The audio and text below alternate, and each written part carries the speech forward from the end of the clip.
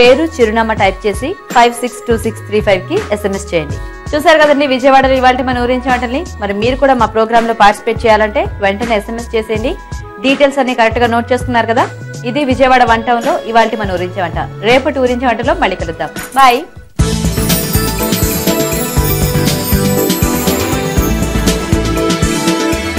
ఊరించే వంటలు చూసారు కదా? ఇప్పుడు ఒక చిట్కా చూడండి. చలికాలంలో వులన్ క్లోత్స్ ఇంకా మాయిశ్చరైజర్ని వాడటం వల్ల చలి నుంచి అవి రక్షించడమే కాదు మీ స్కిన్ని కూడా మంచి కండిషన్లో ఉంచుతాయి. మరి ఈ రోజు మనం చూసిన వంటకాలలో పోషక విలువలు ఎలా ఉన్నాయో డాక్టర్ అరుణ గారిని అడిగి తెలుసుకుందాం. ఈ రోజు వంటలు పిండి వంటలో చూసిన జింజర్ క్యాప్సికమ్ రైస్లోని పోషక విలువలు ఏంటో తెలుసుకుందాం. అల్లం చాలా మంచిదండి. అల్లం డైట్లో వాడుకుంటే ఇంకా కూడా చాలా బాగుంటుంది. మెయిన్ రీజన్ జలుబు కానివ్వండి అలర్జీస్ కానివ్వండి వాటిని అన్నిటి నుంచి కూడా చక్కటి రిలీఫ్ వస్తుంది.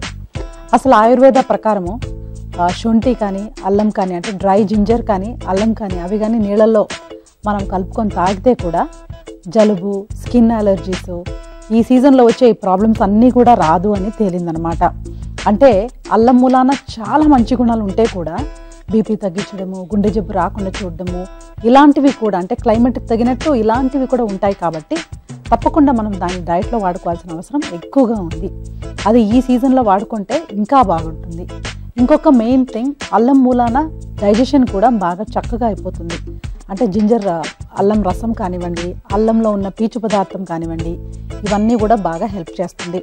So ginger capsicum rice capsicum కూడా మంచిదే. రైస్ కూడా సెమీ పాలిష్ రైస్ కాబట్టి మనకు ప్రాబ్లం ఏమీ కూడా ఉండదు. సో అల్లం చాలా మంచిదండి. ఈ క్లైమేట్లో కూడా మనకు చక్కటి రిలీఫ్ ఇస్తుంది కాబట్టి వాడుకోవడం చాలా బెనిఫిషియల్గా ఉంటుంది. మెయిన్గా ఈ ఆస్మా అలర్జీ ఉన్న వాళ్ళకందరికీ కూడా ఈ సీజన్లో కొంచెం ఎక్కువగా కూడా అవి అటాక్స్ ఉంటాయి. సో ఇలాంటివి మనకు న్యాచురల్గా ఉంటుంది. రిలీఫ్ కూడా బాగిస్తుంది కాబట్టి ట్రై చేసుకోవచ్చు.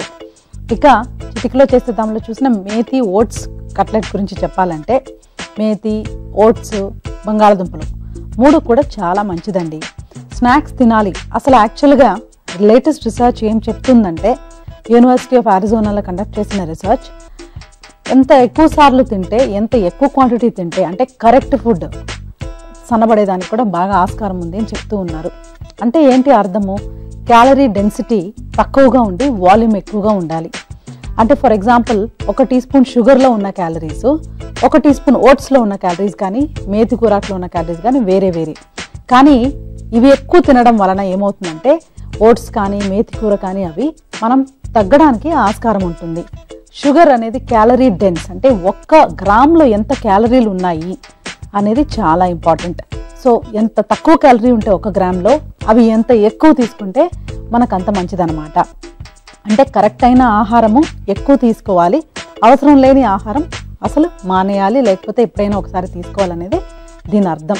సో భోజనం మానేయమని చెప్పి ఎవ్వరు కూడా అన్నారు అసలు అలా ఫాలో చేయడం కూడా కరెక్ట్ పద్ధతి కానే కాదు. సో ఇలా మనం ట్రై చేసుకోవడం అనేది చాలా చక్కటి పద్ధతి. సో ఈ మేతి ఓట్ కట్లెట్ అనేది చాలా చక్కటి రెసిపీ మనకి ఇలాంటి రెసిపీలు చాలా అవసరం ఉంది. మనకు ఎప్పుడు కూడా నిత్యం ఏ స్నాక్ చేయాలి అనేది కూడా ఒక పెద్ద సమస్య కాబట్టి ఇలాంటివి నోట్ చేసుకొని ట్రై చేసుకుంటే బాగుంటుంది. ఇక ఊరించే వంటలో చూసిన కరివేపాకు రైస్ కరివేపాకు బజ్జీలు. ఖచ్చితంగా కరివేపాకు బజ్జీలు మంచివి కావు. ఇక దాని గురించి మనం ఎక్కువగా ఆలోచించడం కూడా అంత మంచిది కాదు. కరివేపాకు రైస్లో కరివేపాకు రైస్ ఇవే కాకుండా అసలు కరివేపాకు చాలా మంచిది. ఇప్పుడు పచ్చి బఠానీలు పల్లీలు వీటి మూలంగా ఏమవుతుందంటే ప్రోటీన్ అనేది చాలా చక్కగా వస్తుంది. మనకి ఇప్పుడు ఉన్న ఈ పొల్యూషన్తో పాటు ఒక పెద్ద సమస్య అంటే పర్సనల్గా జుట్టు రాలిపోవడం అనేది చాలా పెద్ద సమస్య. సో ఈ జుట్టు రాలడానికి గల కారణాలు ఏంటి అంటే ఒకటి డాండ్రఫ్ ఉండొచ్చు. మరోటి బ్యాలెన్స్డ్ డయట్ లేకపోతే అది కూడా ఒక మెయిన్ రీజన్ సో డాండ్రఫ్ అనేది ఎప్పుడు కూడా మనం చెక్ చేసుకుంటూ తగిన హైజీన్ కనుక మెయింటైన్ చేస్తే అది కొంచెం మనం కంట్రోల్ చేయొచ్చు. ఇక డయట్లో ఏంటి దీనికి సొల్యూషన్ అంటే అయర్న్ ప్రోటీన్ రెండు గనక కలిసి ఉంటే ఖచ్చితంగా ఈ హెయిర్ ఫాల్ అనేది మనం చాలా వరకు తగ్గించుకోవచ్చు. సో ఐరన్ దేంట్లో ఉంది? కరివేపాకులో బాగా ఎక్కువగా ఉంది. ఇక పల్లీల్లో పచ్చి బఠానీల్లో మనకు ప్రోటీన్ ఎక్కువగా ఉంటుంది. సో ఈ కాంబినేషన్ చాలా బాగుంది బ్యాలెన్స్డ్గా ఉంది సూపర్బ్గా ఉంది. రైస్ మాంసకృతులు అంటే ప్రోటీన్స్ అవసరమైన fat vitamins minerals so actually ఇవాళ రెసిపీస్లో అన్నిట్లో కంటే కూడా ఇది ఇంకా బాగుందని కూడా మనం చెప్పచ్చు.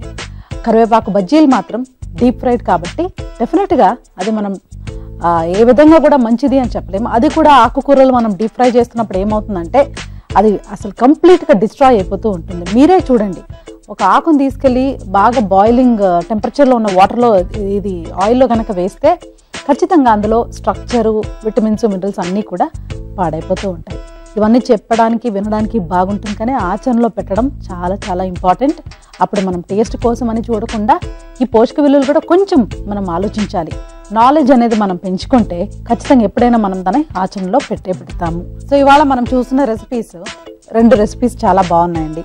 అదేంటంటే మేతి ఓట్స్ కట్లెట్ అండ్ కరివేపాకు రైస్.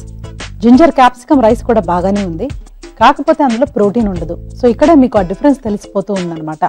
కరివేపాకు రైస్లో మనకు అన్ని పోషక విలువలు ఉంటే జింజర్ క్యాప్సికమ్ రైస్లో మనకు ప్రోటీన్ అనేది లేదు. సో ఆ ప్రోటీన్ లేదు కాబట్టి ఇందులో ఉన్నది కాబట్టి ఇది కొంచెం సుపీరియర్ జింజర్ క్యాప్సికమ్ రైస్ కూడా డెఫినెట్గా మంచి రెసిపీనే అవాయిడ్ చేయాల్సిన అవసరం లేదు. నోట్ చేసుకొని ట్రై చేయాల్సిందే. కాకపోతే తేడా ఏంటి అని చెప్తున్నా. సో బ్యాలెన్స్ డైట్ ఏది? కొంచెం బ్యాలెన్స్ లేనిది ఏది అని. అందులో కనుక మనం ప్రోటీన్ సోర్స్ ఏదైనా యాడ్ చేసుకుంటే అది కూడా బ్యాలెన్స్ డైట్ అయిపోతూ ఉంటుంది. ఇక కరివేపాకు బజ్జీలు మాత్రం కరివేపాకులోని పోషక విలువలు శనగపిండిలో ఉన్న పోషక విలువలు అన్నీ కూడా మనం కంప్లీట్గా డిస్ట్రాయ్ చేసినట్టే. శనగపిండి మంచిదే. ఇప్పుడు రాజస్థానీ ఐటమ్స్లో గట్టే అని శనగపిండిని డీప్ ఫ్రై చేయకుండా వాటర్లోనే బాయిల్ చేసి ఉండలాగా చేసి కుక్ చేస్తూ ఉంటారనమాట అలా గనక తీసుకుంటే డెఫినెట్గా శనగపిండి కూడా పోషక విలువలు ఉంటాయి. ఇలా బజ్జీలాగా చేసుకుంటే మాత్రం డెఫినెట్గా అంత మంచిది కానే కాదు.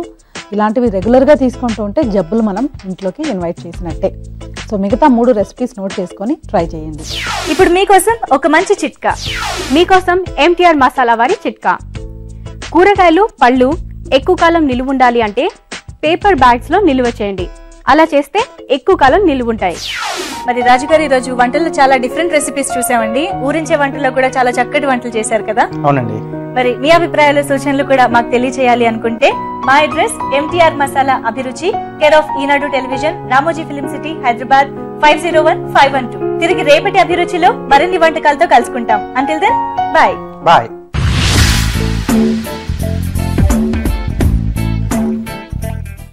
Dress Courtesy, Kalanjali, opposite Public Gardens, Cypher.